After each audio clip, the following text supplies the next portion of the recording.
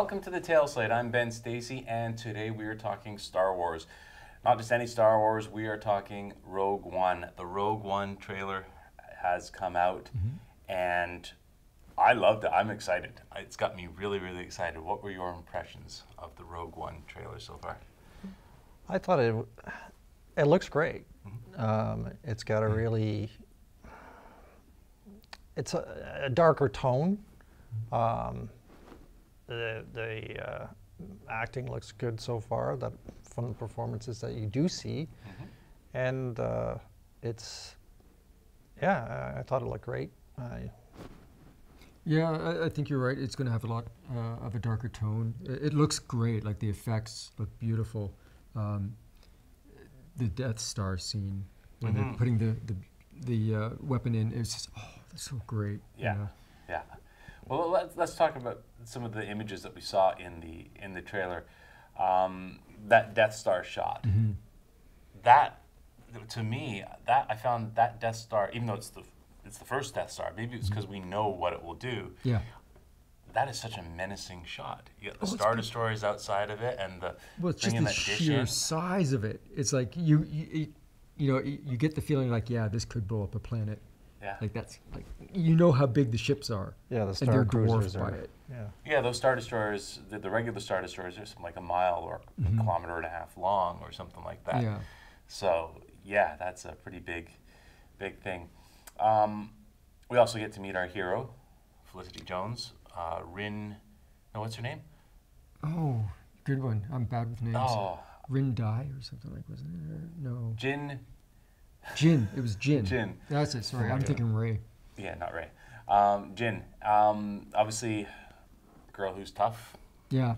Lived uh, a bit of a, She's a a street- rebellious life, She's a street. She uh, rebels. That's what she does. Yeah. She's a street a rebel. urchin who gets in trouble. Yeah. And she looked really good in it. It looks like it'll Yeah. be a character that you'll be Rooting for, yeah.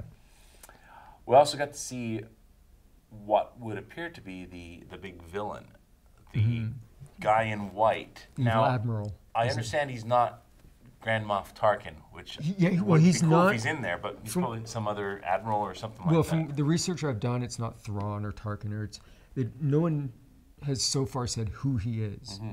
So I'm assuming this is going to be a character who, in the end, will probably die, but he'll be the big bad, who is obviously like you see the scene of him walking through the water there, Mhm. um, on his own. So he's he's a badass, whoever Yeah. he is. Uh, so he's going to be a dangerous opponent for them. the protector of the plant. That's it. Yeah, no, he, he- he looks pretty good. Um, let's go to meet some of the other characters. Mm-hmm. Uh, we get to see Mon Mothma again. hmm Yeah, which is kind of cool. Nice little touch to the uh, original. Yeah.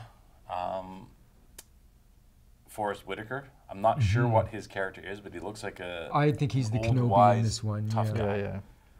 No, and it was also good to, like, we were talking about it a little bit before. It was good to see um, the walkers in a in a Oh, yeah. different environment. yeah, those at-ats. Yeah, because we we've only really seen them when. Well, you only a- really see them in a from the side, essentially, in all the other shows where. Well, they're all, well, the only time we've seen them doing anything Yeah. was, Was in the snow. Yeah.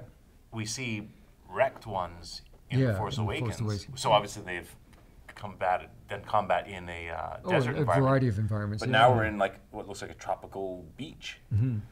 Well, is really and, cool. yeah, like, in the scene that you see them in, I, I just love that. It, it, it's amazing to see them from that point of view Yeah, of having the guns pointed at you, rather than just like a side scroll video Yeah, game. you've got a real sense of scale, like Mhm. how tall these things are compared to a, a human figure. Mhm. Yeah, and it, and it helps you get into into the point of view of the characters where you're running at them, and you've got these huge explosions as they're shooting at the camera, you know, and you, you're you got guys running past you. Uh, That was good. That really looked good. What if what Rogue One is supposed to be about is stealing the, the plans for the Death Star, right? Yep. So it's right before Star Wars. That's right. Yes. The, yeah. Before A New Hope, yeah. Before A New Hope. So there's really, you would assume that there's really no lag time between those two stories. Probably not. Yeah, A New Hope probably happens pretty soon after this. Yeah. Well, Or could he even be going on as Well, as uh, this is going on? well, I, that's yeah. It's hard to say because they never really say when they got the plans to the Death Star. Just that they had Oh, Actually, spies yeah, you're right. It would have had to be before Well- they were in R2D2. R2. Oh, Yeah, that's right. That's, That's right, right. at the beginning. Yeah. Yeah. So- so it does take place definitely before, not not Mhm, before the events. simultaneously. Yeah. So the other thing is that there's the possibility of Darth Vader coming in to Mm-hmm. play at some point. Yeah. And uh, you had mentioned Mm. um, with the the red guards. What are they called? The The Imperial guards. Imperial Guards. Yeah. Yeah. There, there's a shot of them in there. Yeah. Mm-hmm. Yeah, So- and, it, and it looks like they have that light tube, which is what the you've always seen the transmissions over the holographic transmissions of the Yeah. Emperor. Yeah. Yeah.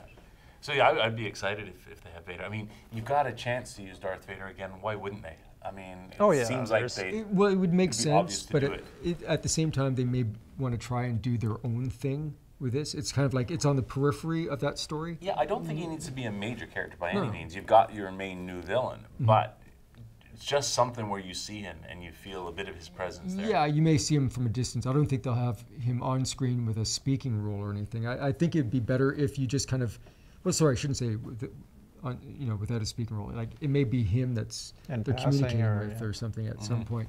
Um, I just think that, you know, beyond him maybe threatening death to somebody for failing, I don't think they're going to bring the Emperor or the, or Darth Vader in a lot. Oh, I doubt. No, I don't think he's going to be in a lot, but Yeah. uh, they have the opportunity to use him. Why not? Sure. Well, again, like I said, the only reason I would say they wouldn't is just that they want to differentiate themselves from Star Wars in that sense, where it's like, oh no, all new characters, you know the plot, so it's an easy to follow one, uh, but we don't have to, you know, touch on every single plot point of the other movies. So they're, but I mean, we've got a darker tone to this Mm-hmm. movie. Like I said, they're all new char- or you said that they're all new characters. Mm-hmm. Are they all going to die? Is this? Oh, it- that is a possibility. Because, could, yeah. you could. or are they going to fraction this off into another film down the road? I, I don't know. I mean, as far as I can tell, what Disney wants to do is have these standalone films, which Mm-hmm. are single stories, which makes total sense. I mean, this once they've completed their mission, that that story is pretty much finished. I mean, who knows? They might Yeah. bring a Well, I character mean, back later, but Technically, they could stretch this into two or three movies if, if they wanted to.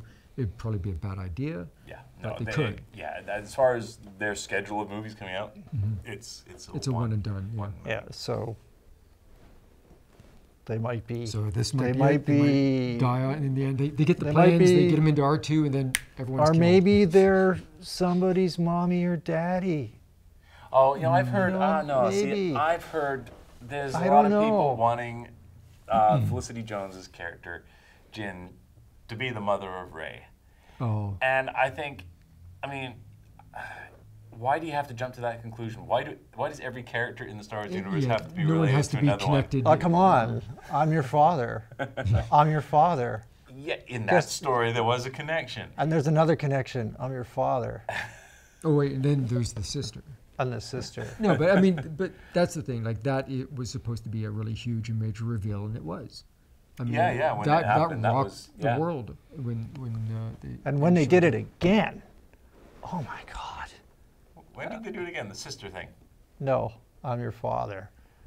The audience learns that Han Solo is. Oh, Oh, okay, in this one, yeah. Well, yeah, The well that was Awakens, yeah, yeah. that one. Let's do it again. It worked the first time. Well, see, that's that's why I have an issue with that movie. But let's talk about Rogue One. Come on, we- we've got another Death Star movie. It's great. Oh, yeah. No, I think this one, this one is the Death Star. It's the actual This is Death Star. this is pre. This is called like a four-peat, like Yeah. like what's We're going back to the same thing. Now we got uh, some other characters we've seen. We mentioned Forest Whitaker. We've got some Mm-hmm. other characters. I mean, I don't, you really just see one or two shots of these these people that are, I guess, in the group that's going Yeah. to steal the plans.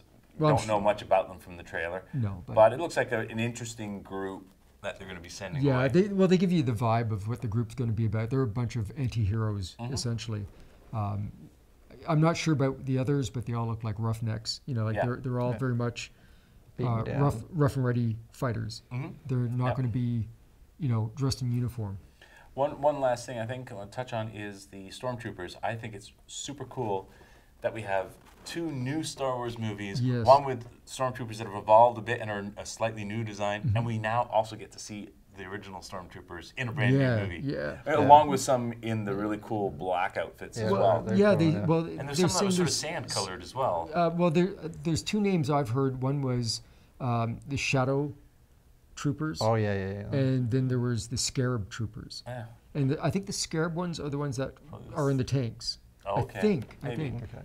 But if, if you notice, it looks like they have blast shields on their, like you know how. Um, What the the ones in the bl- the black troopers? These no, ones? no, no. no. The other one. There, the there's ones that um, it it look. Remember uh, Luke Skywalker in the first movie?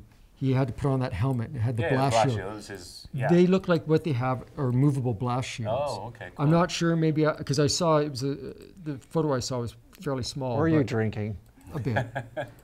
No, but, But- the other thing too is like I want to talk about um, Gareth Edwards. Mhm. Now I saw The Mon- director, yeah. yeah, I saw Monsters, and um, th- this is a film that he made independently, and he and he understands visual effects, whereas uh, some some people might not, because he did a lot of visual effects in in his own film, and I think he did a phenomenal job, and he also did some really interesting character development.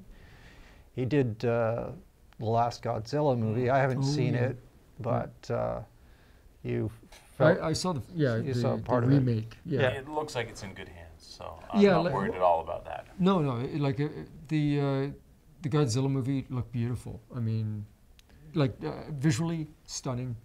I think this one, like so far, what I've seen from the trailer, looks Mhm. great. yeah. So you're gonna go see it. Oh yeah. You're gonna go see it. Oh yeah, I'll see it. I'll see it, and I'll probably see it multiple times, like I did with uh, the Force Awakens. Uh, but it's awesome. We're gonna have a Star Wars movie this year as well. There'll be one a year for the next gosh that's knows how many years, at least five or six years. So Yeah. that is exciting. So.